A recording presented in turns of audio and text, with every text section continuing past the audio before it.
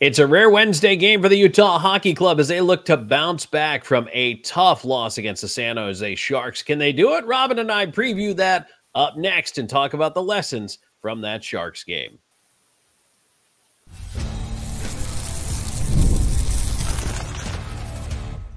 You are Locked On Utah Hockey Club, your daily podcast on the Utah Hockey Club, part of the Locked On Podcast Network, your team every day.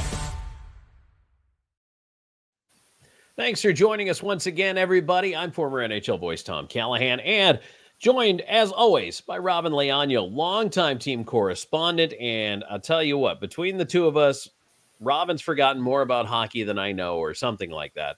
Uh, we love talking about the Utah Hockey Club, and we appreciate you making us your first listen every single day. Today's episode brought to you by FanDuel. You can start the season with a big return on FanDuel. New customers can place a $5 bet, and you'll get started with $150 in bonus bets if you win your first $5 bet. Visit fanduel.com to get started.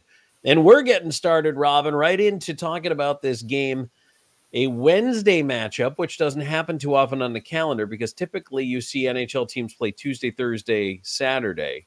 But this week, Utah Hockey Club plays Monday, Wednesday. So it's a little different than normal. But uh, this is the last chance to make something good at home against Calgary before they go out on the road for a, a four game swing away. And it's not an easy swing. So Calgary's off to a surprising start. You know, yeah, there's a lot going on here right now. Plenty of storylines to talk about.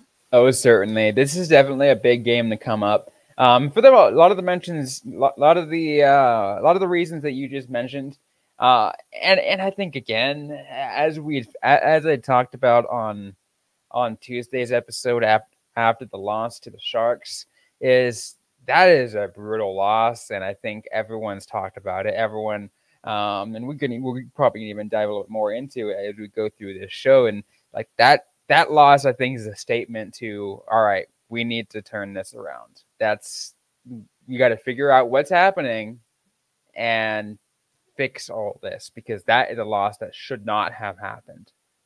Yeah, it's it's a tough one. It really is. And you now you're coming in against a Calgary Flames team that I think a lot of people thought was going to be essentially flip flop them with the Edmonton Oilers. No one expected Calgary to get off to a good start, but they have, and they're playing well. Uh, they found a way to put pucks in the net. More importantly, they found a way to keep them out of their own net. So the Flames off to a good start. They're going to be a tough test here on Wednesday for a team looking to bounce back. Here's what concerns me, Robyn, and and we'll just get to this right away. This is twice in three games now. Andre Tourigny has not liked his team's performance. Uh, the Avalanche game was an embarrassing flop of a game for the team, and Tourigny was forthcoming in his comments about it and basically said that was a bad, horrible thing that needs to never happen again. This team didn't show up. We need to show up next time. So they did against the Kings, still lost, but better game. And for 55 ish minutes against the Sharks, they did what they were supposed to do. They had a 4 1 lead and deserved to get there, I think. Yeah. But just took a five minute nap and all of a sudden the Sharks tie it up and and they just didn't put the Sharks away when they easily could have. And again, now we're talking about no, we don't want to be that team. We certainly don't want to be the team in the last five minutes, but we want to be better than that. Okay, well, now we're talking about maybe some some issues of heart and character and identity early in this season. So this is not just about the on ice product. I think this is about the belief in the dressing room. This is about the leadership group stepping up and saying, "Look, okay, we can't replay those games, but we need to do better, and it needs to start now." And I think in practice on Tuesday it was better. The mood was up. Guys had, you know, some energy. They were out there. They were there was jump, but um, is that going to translate to the game on Wednesday now? I mean, I I hope that I, I hope that that bounce back is what they is how it translates. They need something to get back on track, right? And and and you mentioned it. This is the last opportunity before they get back on the road for a pretty brutal stretch. Like they need something to motivate themselves back. And a win always going to do that. Oh, sure. Sure. Win would be great because as you and just in case you're wondering, the stretch Robyn's talking about four away from home, it goes Vegas, Winnipeg, St. Louis, Nashville. So that's not an easy stretch away from home. And this is here's the other thing, Robyn. We talk about the Delta Center and about making that a tough place to play. Yeah. And you know, the crowd being loud and in it and all that. And the last five minutes of that game against the Sharks, like You're it got quieter and quieter and quieter. Yeah. Because they were everyone was everyone was just stunned. They didn't know how to respond to that. And and and uh, honestly, I don't blame I don't blame the fans there for that for what happened there. Um, but I feel like if if if if if we're, we're going to get back into a in into that win mentality, I'd like to see the Delta Center, you know, keep that going. Like, yeah, sure, you know, it that you you they might see a stretch like that, but stay loud. Let them show them that support. You know, it's it's tough, right? Because the first one goes in, it goes to four two, and you think, all right, they got their one, but they got it early. It was that garbage time. Yeah. Yeah. Right. Exactly. They pulled the goalie. Whatever. Okay. For what's the difference between four one and four two? Nothing. Um, but the difference between four two and four three was uh oh, and then all of a sudden it's four four, and that was the, the feeling of inevitability had kind of crept over the crowd, and I almost felt it, Robyn, that even heading into the OT, even though Utah started with a possession, there was still that shadow there. And I don't think anybody really ever fully quite recovered their energy from that. That's a tough situation. But again, I talk about winning teams get past those moments. So to me, Wednesday, what's most important for me is the start, and it is absolutely the start. That first five to 10 minutes of that first period, this team needs to come out guns blazing. They need to come out firing on all cylinders, whatever cliche you want to throw out there. I want to see hits. I want to see passion. I want to see energy. And I want to see them go after the puck and make plays. Oh, ab- absolutely. And I think we will we will see it. We will see we will see that going into this game uh, with, with, with an important stretch we're going to uh, discuss all that and kind of go into some of the important aspects that we want to see from Utah. Um, maybe get to some of the extra, extras lessons learned from from Monday's loss. We're going to get to the picks of the game from uh, you know from FanDuel. We are going to even discuss a little bit of PWHL. As you can see, if you're looking on watching on YouTube, we have a little teaser there. You might be wondering what we're going to talk about. We'll get to all of that right after this. Today's episode is brought to you by Prize Picks. Prize Picks is the best place to get real money sports action. With over 10 million members and billions of dollars in awarded winnings, Prize Picks has made daily fantasy sports accessible to all. You just pick more or less on at least two players for a shot to win up to 100 times your cash. Run your game all season long on Prize Picks. Prize puts its members first, so all withdrawals are fast, safe, and secure. When Prize Picks hits, I can get my money in as quick as 15 minutes. And it also, it's really the only place that, that to get real money, daily fantasy platform, an injury insurance policy. So your lineup stay in place even if one of your players gets injured. So if your player leaves in the first half and doesn't return, Prize Picks keeps your lineup active. It just reboots that lineup from a six pick lineup to a five pick lineup to make sure that you're still getting a good chance at getting a win. Get it, go ahead and check it out yourself.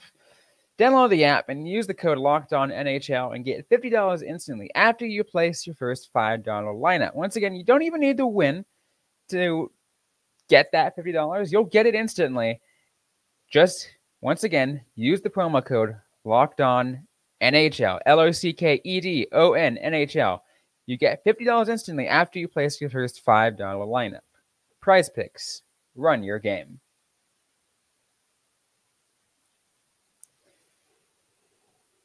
So let's keep things going, Tom. Let's let let's get more into this game. Utah Hockey Club versus Calgary Flames, the uh, final home game for a uh, a four game stretch on the road.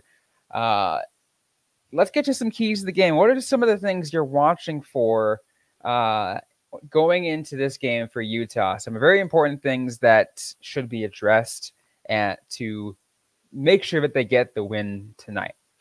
Well, I think the start was uh, the first one I threw out there, and to me, that is the biggest one. That's the most important thing. They really need to figure out how to get out there with energy, sustain the energy. As we saw, a good start against the Sharks didn't equal a win. So, on top of the start being critical for Utah Hockey Club, 60 minutes of hockey, a sustained effort a and look, you might have a bad shift or two. Everybody does. It's a long game. 60 minutes is a long time. Yeah. But Robyn, I need to see them finish this off. Whether they're trailing or leading, I need 60 minutes of effort. It doesn't matter to me what the score is. I, I, I'm serious. I don't care if they lose. I don't care if they win. I need 60 minutes of effort. That is going to be so important to me.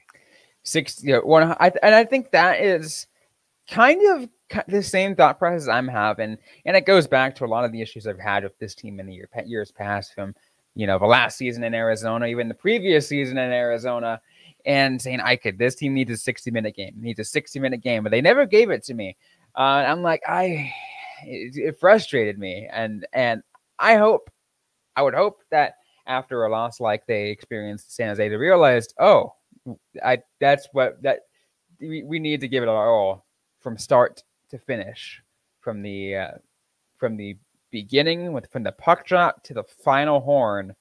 Make sure you give it your best effort because that can happen. Um, so, how I think, yeah, a 60 minute game is crucial in a game like this one.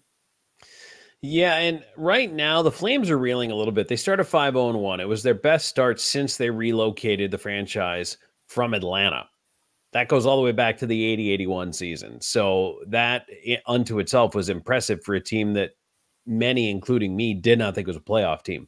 Since then, though, they've lost three in a row in regulation. They got shut out by Vegas. Uh, didn't look all that good. So the Flames are cooling off, if you'll pardon the pun. Uh, and Utah Hockey Club needs to continue to throw water on that fire. You know, they can smother the Flames uh, they can really continue their downward trend. That's why this game is also interesting to me, is because it is two teams that are on mini skids. Theirs is three, ours is four. I'm really interested to see when these two teams clash with one another, what gives. You know what I mean? Mm-hmm. I, I'm, and especially it being at home. Yeah. If this was a road game, I'd expect the Flames to have that bit of an edge. But at Delta Center, I expect that the UHC should have the edge competitively, uh, energetically. They're not traveling, although it's not a huge trip from Vegas to to Salt Lake. Still, Calgary's on the road. They're not sleeping in their own beds, right? So I just, to me, I really look at this game and I think to myself, you know what, Utah, this is an important one for you against a Flames team that is slowing down and they weren't projected to be a playoff team, but neither was Utah, and they had a hot start. Are they? Are these two teams regressing to the mean? Are they going back into what we really expected them to be in the beginning, or is this just a mirage? And I think this is a critical game for both of these teams. So I expect a fight. I think this is mm-hmm. going to be an absolute battle. I honestly, I think so too. Which is, I think, one thing that I, I was reading in an article and they're talking about how both these teams have been pretty poor on the shot count, the, the, the shot counts, right? They've haven't they, they haven't really been getting quality shots out. Uh, so I think that is another thing I want to add in as a key, Tom, is I think getting the shots on and, um, and more specifically, the I think I, I, I think you said it earlier this in in the season, Tom. The, get the thirty shots. Yeah, yeah, I mean, if you if you league averages, you're going to score on nine out of ten. So if you get to thirty, you should get to three goals. Three wins, a lot of games in the NHL. It's the race to three. And although with Utah earlier in the season, it was the race to four, five, and six, but which also, Robyn, that that begs the question, right? Where did the scoring go on this team? It's kind of dried up a bit until that Sharks game. They were having trouble putting the puck in the net. It yeah, they, they were. And so what they did in San Jose, and that specific, more specifically in that you know in that earlier bit that game where they got those four goals, is look at what they did and see if you can get a little bit more of uh, like do that and a little bit more. Because Matias Maccelli getting two goals against San Jose was huge. That was a great opportunity. Dylan Guenther getting back on the scoring sheet, like that's you want more of that. Let's see how long they can keep that up so you you bring up a couple of interesting things here. First of all, let's talk about Dylan Guenther. Great start to the season. Obviously had the boost off signing that big deal, then disappeared for what several games. I think what was six maybe. Yeah. Um, and all of a sudden was just gone off the radar. And now back scores in the Sharks game. Good to see. But to me, in the meantime, I never thought Dylan Guenther was the answer and the goal scoring leader on this team this year. And we talked about this before. That that top six, the scoring is spread out. There's a lot of talent, so it's distributed over the lines. But I need to see the Schmaltzes, the Crouses, the you know the guys that we thought coming into the season, some of these more veteran guys that are going to make things happen. Um, I think it does help to have Bjugstad back in the lineup which by the way, the bumper effect of that was that Doan went down to the Tucson Roadrunners and right. uh, the, Andre Tourigny just in passing today in practice said that you know he wants him to go down, get his confidence back, find his game back. He thought he had lost his confidence a little bit here in the last uh, little while. So, you know, I don't know. That's an interesting one for me. Um, there's plenty of forwards fighting for jobs right now. You know, Yamamoto yeah. is going to be in and out of the lineup. Spicy Tuna is going to be in and out of the lineup. Um, you know, it, eh, who and, wants it? Who wants it? Show yeah. me. And of course, Yamamoto was you know was put on waivers over the week, last weekend, right? He was sent. He he was also sent back down um, to Tucson, so he's going to be in and out. Um, I kind of want to. I want to see more from Michael Carcone, though, right? You know, for quite a while, you know, for for a couple seasons, he was the the AHL's leading scorer. Let's see hmm. more of that. Yeah, it'd been kind of quiet, right? Uh, we really hadn't hadn't heard or seen much. Um, and you know, you kind of hope when, let's say, like a Maccelli has a game like he had against San Jose, you hope that turns into a breakout game. Yes. You know, you hope that that's just the start. And obviously, not everybody carries that momentum. Sometimes it's just right place, right time, and you get hot in a game. Uh, but the way the goals were scored, and I'd like to go back to that because that was a positive for me. You talk about the 30 shots. So, Robyn, let's go ahead and instead of making those 30 shots from the perimeter, from outside the hash marks, outside the faceoff dots, over by the wall, down by the goal line, let's put those in more high percentage chances. Let's put them in pucks filtered through from the D to generate rebounds or to slip through traffic as Sergachev's did.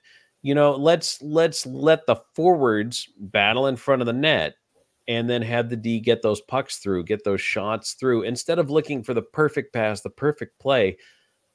Dirty works, good enough works. They just need get that volume of shots, but I want to see the quality of the shots come up a bit too. Yeah, and and it I think to, to me, and I think a lot of that is as simple as um, is keeping the keeping your feet moving, find you know getting to the right spot. Um, but don't have you don't have to be too cute about it. You don't have to get you know like get in the perfect spot, but into into a high heat map area where you can get the most a good a good quality shot on. If you see the opportunity, to take it. Well, that's the other thing is I felt like they passed out of some scoring opportunities at times. We're less guilty of it in the Sharks game, but certainly we're more guilty of it in the previous three. Um, I don't know. Eh, and again, I mean, you know, we're talking about all right, who's who really wants to be in that lineup? Who wants to make that difference? Guys are going to slide up and down, top six, middle six, bottom six. And the other thing, and I give Andre Tourigny credit for this, he does not mind shuffling the lines to try to catch a little oh, magic yeah. in game. He's like, you know what? Let's roll the dice. Let's let's play the hunch. Let's see if I can put a couple guys together and see if they can catch a spark. So I like that. Uh, I mean, I, breaking breaking up, you know, Keller, Hayton, and Schmaltz, I think is uh, worked out in the beginning of the game on against the Sharks. Who's to say we'll see more of that? Where do you stand on Clayton's Keller, Clayton, Clayton Keller's season so far? Uh, I think he's been. I, I think to me, so to me, I think the best way I've uh, I can explain is fine. Like it's nothing, but not nothing like not, not nothing that stands. Yeah, nothing that it's not. It's not great. Not like ooh, Clayton Keller is doing absolutely phenomenal, doing everything, but he's also but he's not doing bad. He's doing good. It's just, but as as a newly minted captain, I want to see more. Here's here's my interesting take on Keller is that I think he has quietly been one of the better players, but he's also been one of the quieter players, despite he's putting up points. Years ago, Robyn, the way I would explain this is uh, Wayne Gretzky, one of his brothers, Keith, was yeah. playing in the East Coast Hockey League with Fort Wayne Komets, storied historic franchise. I never remembered this guy touching the puck. At the end of the night, he had four assists, and I don't know how.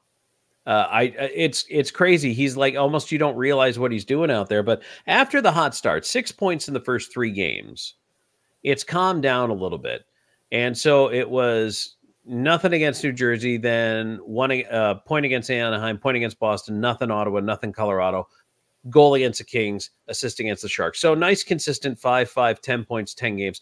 That looks good. Yeah. But to me, and also, by the way, plus two against San Jose, plus one against the Kings. So that's also very nice. But Colorado, here's like zeros across the board, but had five shots. So I like that. And hasn't had less than two shots in a game. And that's only happened twice, but has been averaging three shots for the most part in a game. And so I think for Clayton Keller, when we're talking about a guy leading by example and trying to get things going, it's weird how I'm not noticing him as much, but when I look at the numbers and then try to look at the impact, I think I feel like there's probably more here than than meets the yeah. eye from Keller. I just I wish I could somehow make it louder.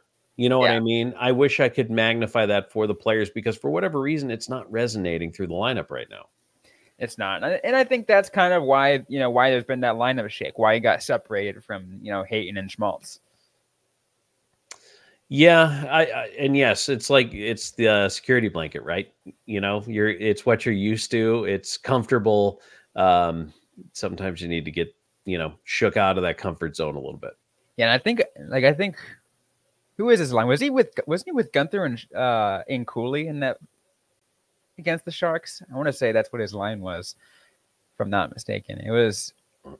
You know what? I don't 100 percent know. Right. Might, I think I, you might be right. I think that's what it was. And I think I, I saw that and I was like, well, that's interesting. Let's see how this works out. Yeah, and maybe going for you. Well, uh, so here was the other thing too.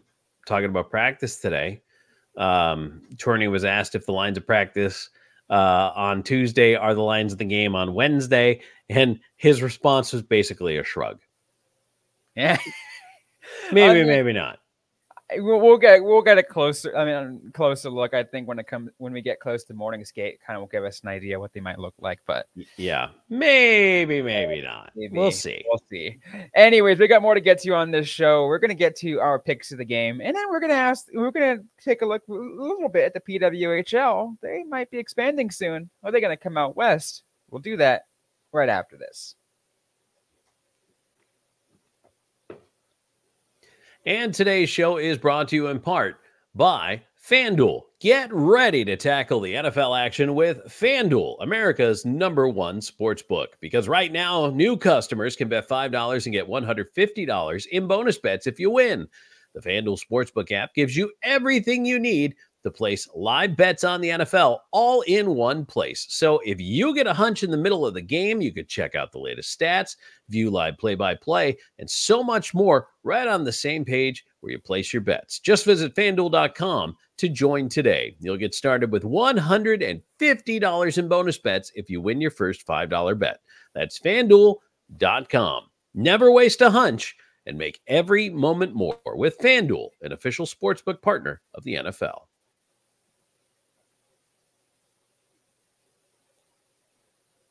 So we talked the keys to the game, and now let's get to some picks for the game.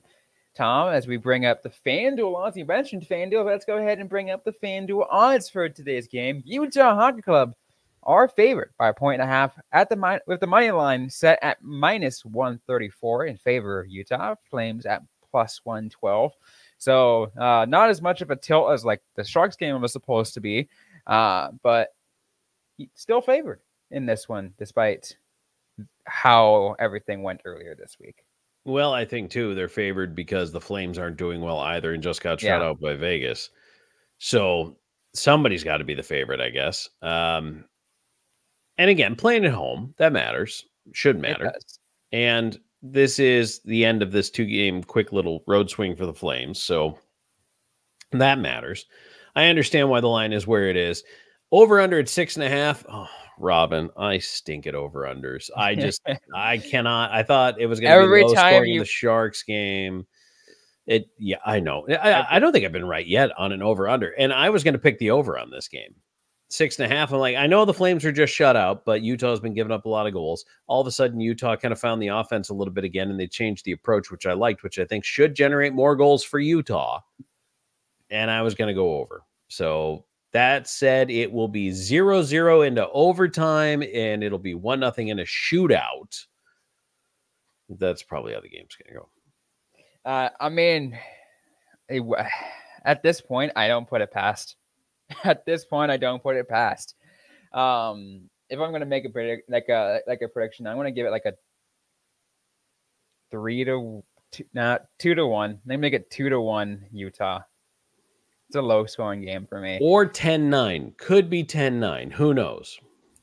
Uh, Can you uh, imagine? Yep. That'd be wild.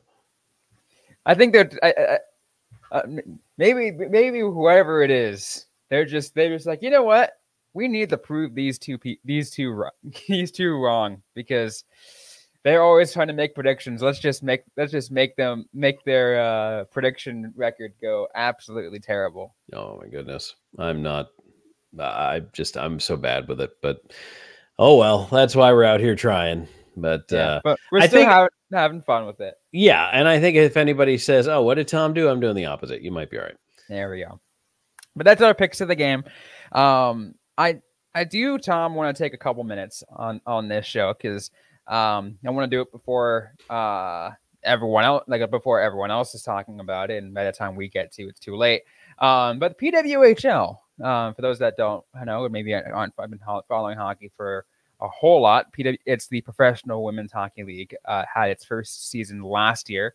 Uh, looks like they're expanding, and they're, they're, looking to expand, exploring to expand to an extra two se- an extra two teams, uh, starting in 2025, 2026. Uh, so it'll coming up pretty soon, and uh, looks like a lot. There's a lot of discussion on what the cities might be. looks like oh, maybe they might do uh, Pittsburgh. Maybe they might do a bunch Quebec City. Um, not a whole lot of discussion on what might could happen here on the West Coast. I think outside of Seattle and and Portland. But Tom, let me get your opinion from you. Like, what are the odds that we see the PWHL expand out here west? Maybe if not this next time around, but very soon. If they do, I think they need to take a page of the American Hockey League's book and set up a Western division. And have enough teams come in at the same time in the West where PWHL West, PWHL East might not even play each other regular season. Maybe not at first because that right. costs money. Mm-hmm. And maybe you shift like a Minnesota into the West. I don't know, uh, just to give an established team in there. But you could, you easily could. And I think there's plenty of Canadian and American cities that would support it. Portland is an intriguing one. I think it would do well real well in a city like Portland. Uh, I would love to see it. Absolutely love to see it. I I love women's soccer. I love women's hockey. I love watching. Mm-hmm. Um, it's just, and I have a niece who is you know just a teenager now, and she is inspired by watching women in all walks of life do mm-hmm. things that she has an interest in. And she's played hockey. She's played soccer. Uh, now she's a swimmer, you know, like it, it's just they look forward to these things. And I think that it's important for the localization of those role models, especially, you know, a little girl looking up to uh, a hockey player and saying, I want to be a hockey player. It's like, well, it's cool if you want to be Connor McDavid. I mean, who doesn't? Right. Um, but, you know, just thinking about how many kids are looking up to a Sarah Nurse You know, it's uh, it's really kind of a cool thing to know that you feel more represented Yeah. in that way. and I, and and I, and I, think that's the huge bit, right? And that's what we're seeing. We're seeing we saw we and people have started to embrace it a lot more in the last decade. In the previous decade, and in the you know through the 2010s and even the two, early 2000s, women's sports didn't get enough traction and then didn't get enough credit. But now they're blowing up. Like, like take a look at the WNBA, blowing up. The NWSL, blowing up. PWHL uh, came out, you know, r- rose out of the ashes of the PHF and the uh, P- I forgot what the other, uh, the W and it, whatever it was. There's like prof- the Professional Hockey, Women's Professional Hockey Association, Players Association, um, the WPHA or whatever. I think that's the, that, that's what it was. Um, and they were like, "All right, let's let's let's let's bring something. Let's put it together." And instantly, so much love in Minnesota, in Ottawa, in Toronto, in New York, and all the cities that they that they started in. Uh, so like if they bring it out west, I think that's huge. I said Seattle and Portland uh, cities would be cool. I'd love to see maybe one somewhere in California. Um, I could see that. I could see it one tucked in Colorado somewhere. There's plenty of places there. Maybe in you know Nevada, you could put a team, and um, uh, you put a team in Utah. You know, there's there's plenty of places you could tuck a team in there that would give you a nice strong West Division. You could put a team in Winnipeg to give Minnesota a rivalry. I might be a little biased. I might be a little biased, but hey, let's see one in Arizona. They, look at the girls hockey. There anyone, if anyone who are form who are still leftover Coyotes fans listening to this, you know you know what I'm talking about. The Kachina's girls hockey program here is amazing. It they're absolutely amazing, and you know, despite now no NHL team in in in Arizona, like they're still going strong. They're working as hard as they can to keep you know keep things going to keep girls hockey alive. I think a PWHL team in the area would only do so much extra good for that city. For Phoenix, for whatever, or it's Tempe or whatever, anywhere in this eh, here in Arizona, it would be amazing. It would. So uh, you know what, Robyn, if they're going to expand, put in a whole Western Division, I'm all for it. I love it, and uh, I would absolutely root on an entire Western expansion of the PWHL. No questions asked. Absolutely. Any final thoughts before we close things off? You know what? I'm just going to go back to what I said earlier about number one, needing to see a great start out of Utah against Calgary, and then a 60 minute effort. Uh, to me, this is this is effort based. Now, I'm not really concerned about the wins and losses on Wednesday and then on the road trip coming up. To me, it's all about effort. It's all about who wants to be in a lineup, and it's all about who's going to be able to show me that they're taking the next step forward in their game. Absolutely. That sounds good. That's going to be it for everyone on this episode of the Locked On Utah Hockey Club podcast. If you like what you heard, don't forget to leave us a review, like, comment, subscribe if you have yet to already. We're available everywhere you get your podcasts, including on YouTube. Uh, if you are listening, also leave us maybe leave us an extra comment. Let us know a who you have winning this game. What's your final score prediction uh, for tonight's game against the Flames? And b where would you like to see a PWHL team expand to? Would you like to see one uh, in Utah? Would you like where else would you like to see one? Let us know. I'd, I'd like to get a, uh, a, a uh, some insight from all you fans out there. Don't forget to interact with us also on social media. There we are on uh, you know social on on X, Instagram, Threads at LO underscore NHL Utah. I am at Robyn underscore Leaño.